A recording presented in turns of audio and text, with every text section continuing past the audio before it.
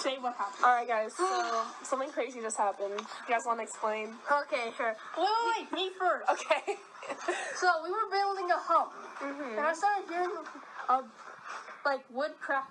I, Stick I cracking. sticks, sticks, breaking into woods Uh-huh. like three times, Mhm.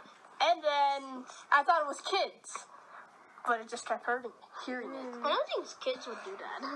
Yeah. And then here's here's what she saw. Say it. Oh, and then I looked to the woods when Mykel was like, "Oh no, there's there's something like I hear cracking," and I saw this like white thing pass like a couple times. I didn't know what it was, but it didn't look like a person, and I was just like, "Oh no, this this is bad." Like we're really close to this thing, and it keeps like pacing around. Like we gotta get out of here. So me being the great older cousin I am, I bolted out of there, leaving these three behind. No! Well, I told you guys to run, but I was like way ahead of you, and I left my sled, and then my Mykel went back to get her sled, and I was like, "What are you doing?"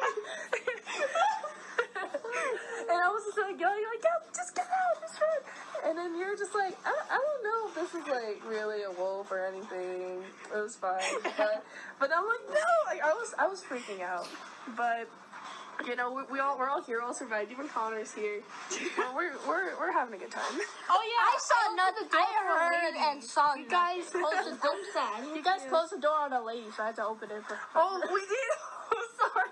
I didn't Remember that lady? She said, "Nice hat." Uh, oh. She was coming in, Yeah, so- yeah. Oh, I didn't even door see her. I didn't even see her. I was just like, The get door away. closed on. Yeah, my I- I, I saw is no one like- while we were. Yeah, so that was our adventure this morning. so like our time outside got cut short, but that's okay.